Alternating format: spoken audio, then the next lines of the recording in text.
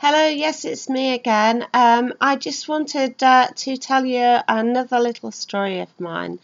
Um, this concerns, uh, I don't know whether you've heard of him, um, Michel Foucault, uh, the, uh, the um, French um, critic who um, talked about nobody uh, listening to the voices of prisoners and uh, people with mental health problems, supposedly, and people who have been marginalised by mainstream society.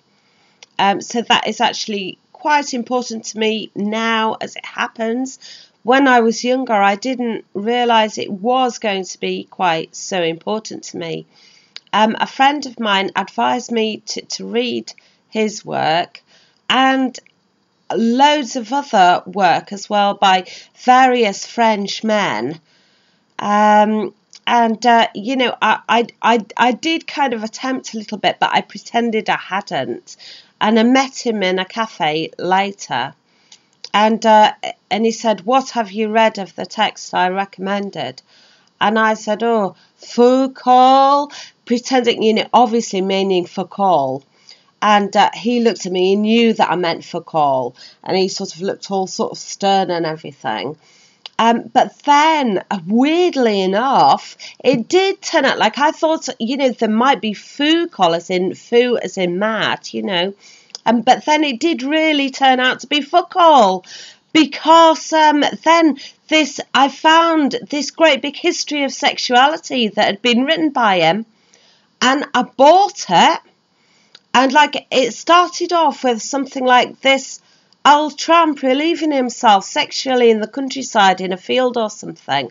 And like I did start reading it, but like the coincidence of me having made a joke about having read Foucault and then suddenly having this whole great big um, history of sexuality that came out by him. It was as though people were playing games with me, actually. Um, you know, I was really flummoxed by it. But I just want to say also, like um, Jacques Derrida, Derrida, um, you know, actually, uh, you know, like I do sort of you know, I can see the postmodernist thing, and you know, I can see uh, that some of the hierarchical and oppressive structures might have needed to be broken down a little.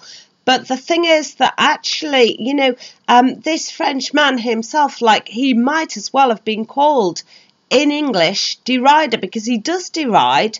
He does, he does, like, what I'm frightened by is that the whole postmodernism has actually not succeeded in breaking down any hierarchy, particularly, but, but actually also um, unpin, unpinned meaning from its anchor. And and that that is does seem problematic to me in some respects, but it wouldn't if we gave people with learning difficulties credence and respect. Um, but it does, as it stands, because we're not doing that actually, despite all that work that has supposedly gone in by these Frenchmen. And I also wanted to say that we noticed that it's French men and not French women. And I did read a book that um, was prescribed once um, by Helen Cixous or something called Six Steps Up the Ladder of Meaning or something. I'd like it, was hysterical and emotional, and you may um, you may kind of criticize me for having for having a masculine turn of mind or thinking, but like I couldn't get on with this woman's um, poetry. I could see that it was poetry, but like I couldn't see. I, I I could see maybe she was desperately trying to undermine something, but maybe didn't know how to, and like that made me feel some sympathy for her and like I did feel as though there was some flailing going on there, and uh, you know I was very worried by by it. So that's it for now on uh, Michel Foucault and Jacques Derrida. Bye.